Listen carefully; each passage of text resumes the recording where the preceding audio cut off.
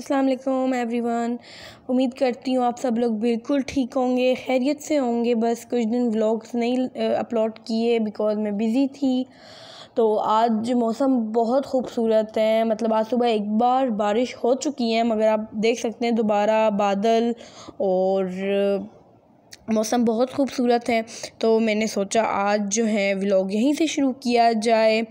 तो आप लोग रहे मेरे साथ। तो आज मौसम अच्छा था, जैसे मैंने आपको बताया था। तो आज मैं बना रही हूँ चिकन पुलाव तो मैंने सोचा आप लोगों के साथ भी रेसिपी शेयर कर दूँ। तो बस ये मैंने इसमें डाला है ऑयल आप लोग अपने हिसाब से डाल लें। मैंने डाले थे चार चम्मच ऑयल के। और ऊपर डाल दिए मैंने प्याज। अब इसको अच्छी तरह हमने ब्राउन करना है, गोल्डन ब्राउन होने तक इसको हम अच्छी तरह भूनेंगे। और ऐसे भूनेंगे कि जले ना, बस इसको हमने अच्छी तरह से भूनना है, ओके? तो अब हम बस इसको भून रहे हैं।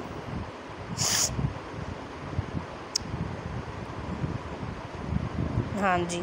तो ये हमारे होते जा रहे हैं हल्के हल्के ब्राउन। आप देख सकते हैं आ, मतलब शुरू हो गए हैं ये ब्राउन होना। अब हम इसके ऊपर ये ब्राउन हो गए थे हमारे प्याज तो हमने इसके ऊपर डाल दिया चिकन।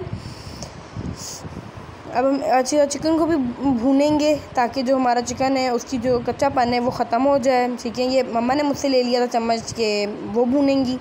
तो ये वाइट ये देखिए गोल्डन हो गया है हमारा चिकन। अब हम इसमें डालेंगे अदरक लहसुन का पेस्ट थोड़ी और भूनने के बाद इसमें हम डालेंगे अदरक लहसुन का पेस्ट। ये देखें, जी, अब हमने डाल दिया इसमें अदरक और लहसुन का पेस्ट। तो इससे एक रोमा आती है, चिकन की जो एक कच्चे वाली स्मेल होती है, वो ख़त्म हो जाती है और खुशबू आती है इससे। तो इसलिए अब हम इसको भूनेंगे अच्छी तरह, ताकि ये जो इसमें कच्चापन ना रहे।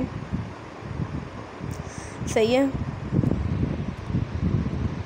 अब हम इसमें मसाले डालेंगे, लाल मिर्च डाली है और जो जो मसाले आपने डालने हैं वो आप डालें। हम ज़्यादा मसाले नहीं डालते बिकॉज़ हमारे घर में कोई इतना स्पाइसी फ़ूड नहीं खाता। तो बस एक लाल मिर्च हो गया, नमक हो गई और बाकी गरम मसाले वगैरह। तो बस दैट्स इट तो ये हमारे, अब हमने अच्छी तरह इसको भूनना है। और अच्छा भूनना हमने ऐसे हैं कि ना ये लगे, ना ये जले। बस अच्छी थी इसमें एक रोमा आए और इसमें अच्छा सा एक जैका आए। तो अब बस ये भुन गया है। अब हम इसमें पानी डालेंगे और अब हम इसमें पानी डालेंगे और इसको कुछ देर के लिए रेस्ट पे छोड़ देंगे ताकि इसके जो चिकन है वो सॉफ्ट हो जाए और गल जाए। सही है?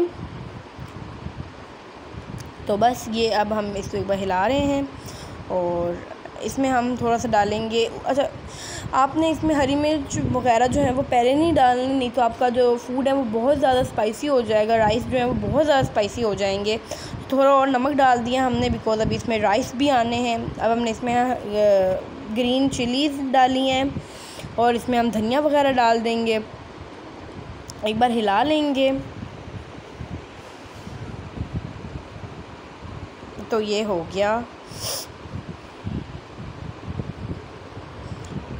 ये हो गया हमारा। अब हम इसमें डाल देंगे। अभी हम इसमें एक बार बस, अब हम इसमें ज़ीरा डालेंगे, जो गरम मसाले होते हैं, ज़ीरा, लौंग वगैरह, जो जो आप लोगों ने डालना है, आप वो डालें।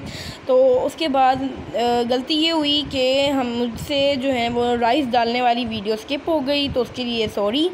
बाकी बस मैंने ऐसे ही एज इट इज़ राइस डाल दिए थे, जो मैंने भिगो के रखे थे एक दो घंटे। वो डाल के इसके ऊपर अब हम अच्छी तरह एक बार हिला लेंगे चावलों के साथ। चिकन को, चिकन गल गया था मेरा, हमारा।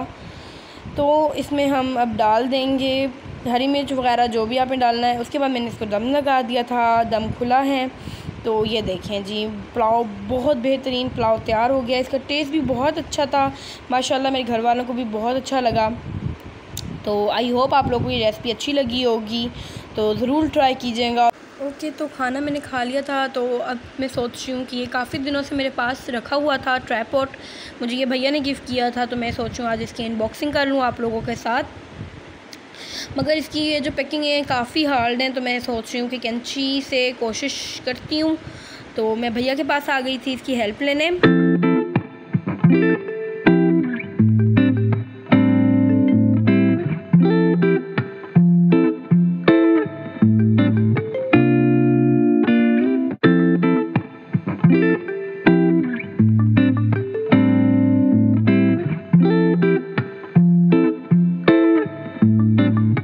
गाइस काफ़ी मेहनत के बाद हम मुझे इसकी जो सेटिंग है वो समझ आ गई है। तो यहाँ पे एक बस इसका रैक लेना है जिसमें फ़ोन होगा तो ये काफ़ी मज़े का है लाइक मुझे अच्छा लगा।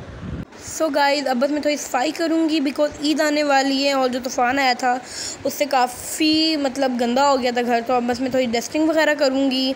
तो आज के लिए बस इतना ही। इन आप लोगों को मिलती हूँ मैं अगले व्लॉग में। तब तक के लिए अपना आपको, अपना ख्याल रखें। गर्मी बहुत है, उसके लिए भी अपने आप को ख्याल रखें अपना और स्टे सेफ़ ईद आने वाली है, वो इन्जॉय करें और अगर मेरा व्लॉग आप लोगों को अच्छे लगे हों तो लाइक शेयर एंड सब्सक्राइब ज़रूर करिएगा, ताकि मुझे इनक्रेज मिले और कमेंट भी ज़रूर किया करें। Thank you so much for watching